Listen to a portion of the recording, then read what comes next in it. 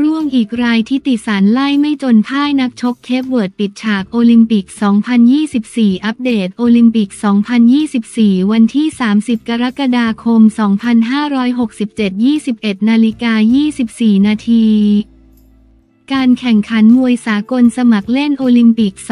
2024 ที่กรุงปารีสประเทศฝรั่งเศสธิติสรรค์ ปั้นโหมดนักชกทีมชาติไทยขึ้นชกกับดาวิดเดอร์ปีหน้านักชกเคปเวิร์ดที่มีทรงผมสุดแสบในพิกัด 51 กิโลกรัม ชายรอบ 16 คนสุดท้าย ยกแรกเจ้าเหลิมที่พลาดโอลิมปิก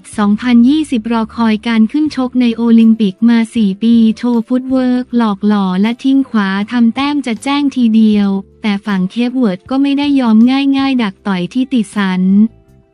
แต่จบยกแรกเจ้าเหลิมตาม 2 ถึง 3 เสียงยก 2 เดอปีหน้าเริ่มสาวหมัดแลกกับธิติสรรค์ที่ต้องเร่งเดินหน้าทำแต้ม แต่ก็ต่อยพลาดเป้าและยกนี้เป็นของนักชกเคปเวิร์ดอีกยกยก 3 ธิติสรรค์เป็นรองสุดกู่ยิ่งเดินยิ่งโดนฝั่งเดอปีหน้า เริ่มถอยฉากคุมเชิงไล่ดักจังหวะเคาะทำแต้มครบยกธิติสรรค์พ่าย1-4 นักชกไทยปิดฉากไปอีกราย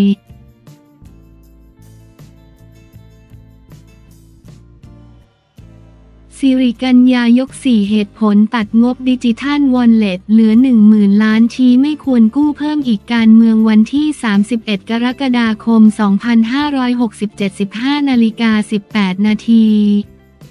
สิริกัญญากลางสี่เหตุผลตัดงบดิจิทัลวอลเล็ตเหลือ1 0,000ล้านเน็บ จะเล่นแร่แปรธาตุอย่างไรก็ตาม แต่ดอกเบี้ยไม่หลอกใครจวกเอาค่าน้ำค่าไฟรวม เป็นรายจ่ายลงทุน วันที่ 31 กรกฎาคม 2567 ที่รัฐสภา ในการประชุมสภาผู้แทนราษฎรมีวาระพิจารณาร่างพรบงบ ประมาณรายจ่ายเพิ่มเติม ประจำปีงบประมาณพศ 2567 จำนวนเงิน 1.22 แสนล้านบาท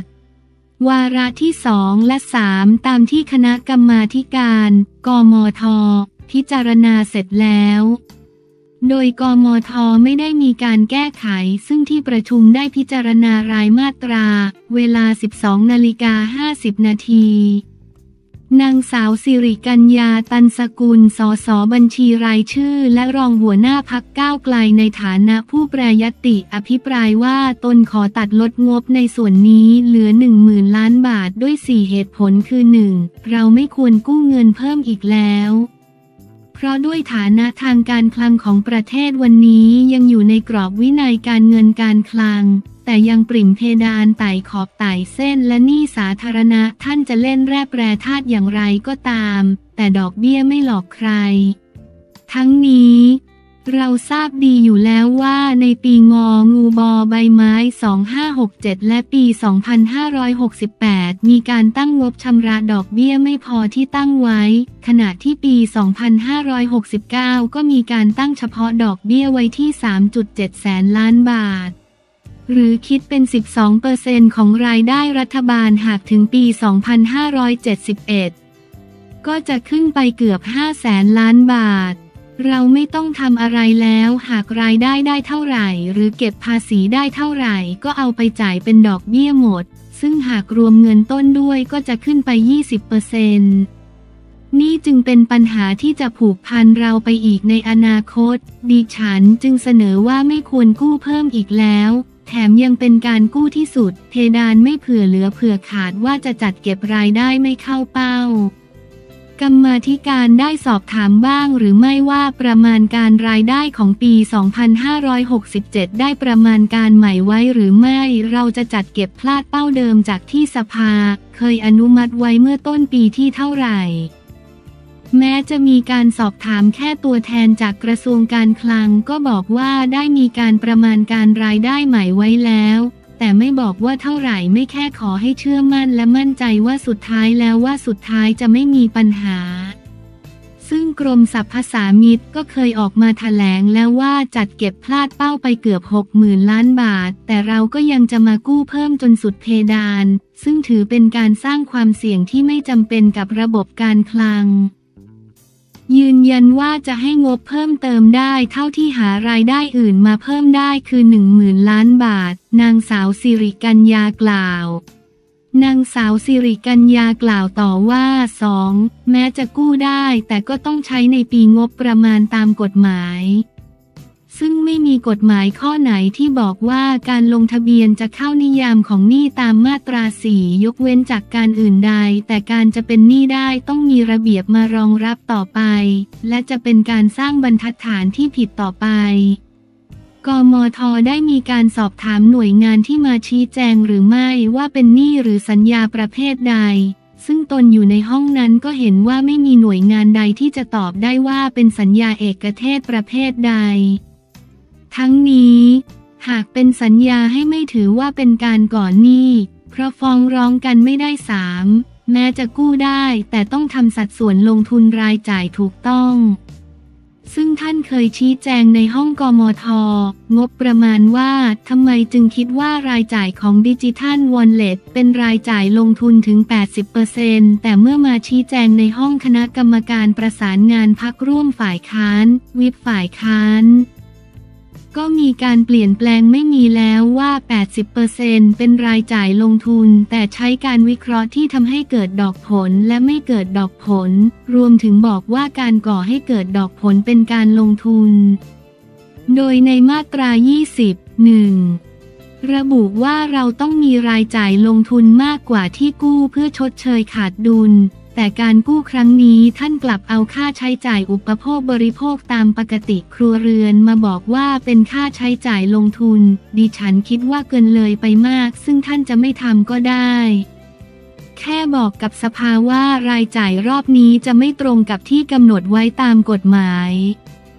โดยมีเหตุผลที่เราจำเป็นจะต้องรักษาชื่อเสียงที่เราสั่งสมมานาน พื่อทำเรือธงของตัวเองให้ได้ให้ท่านบอกเหตุผลกับสภามา และเสียงข้างมากก็คงยอมให้ท่านทำได้ แต่ท่านกลับพยายามที่จะบิดกฎหมายที่ยังไงก็ได้ ขอแค่ให้เป็นรายจ่ายลงทุน ซึ่งจะถือว่าเป็นการสร้างบรรทัดฐานที่ผิดในอนาคตกับกฎหมายวินัยการเงินการคลังต่อไป นางสาวสิริกัญญา กล่าว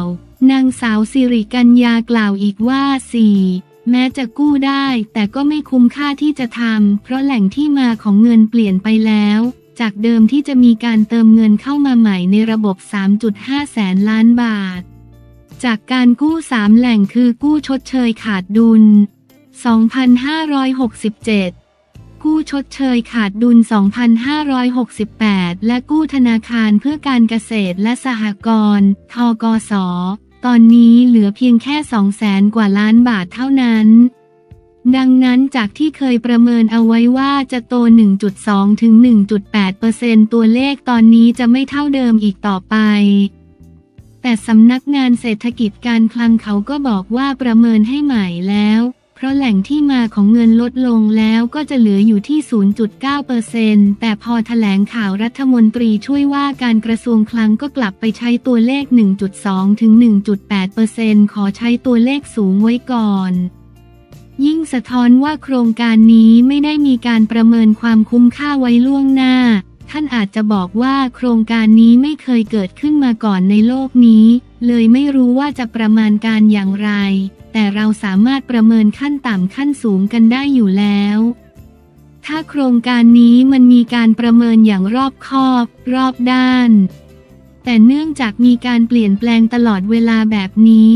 สรุปว่าไม่รู้จะใช้ตัวเลขไหนกันแน่ และเอกสารงบประมาณก็ไม่ได้มีการระบุตัวเลขไว้อย่างชัดเจน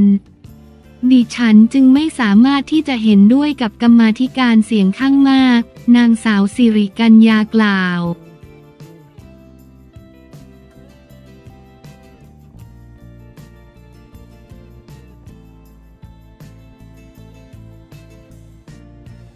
นัดบุญจำนง แสดงความเห็นหลัง เฟี้ยวจุธามาศพ่ายคู่ชกโมร็อกโกร่วงงอน กีฬาวันที่ 30 กรกฎาคม 2567 20 นาฬิกา 35 นาทีมนัดบุญจำนง อดีตนักมวยสากลสมัครเล่นดีกรีเจ้าของเหรียญทองโอลิมปิก 2004 และเหรียญเงินโอลิมปิก 2008 โพสต์ข้อความหลังจากที่ เฟี้ยว จุฑามาศจิตรพงศ์พ่ายคู่ชกจากโมร็อกโกร่วงรอบ 16 คนสุดท้ายศึกมวยสากลในโอลิมปิกเกมส์ เฟี้ยว จุฑามาศลงทำการแข่งขันในรุ่น 54 กิโลกรัม ยิงก่อนจะพ่ายให้กับวิดัด เบอร์ทัลจากโมร็อกโก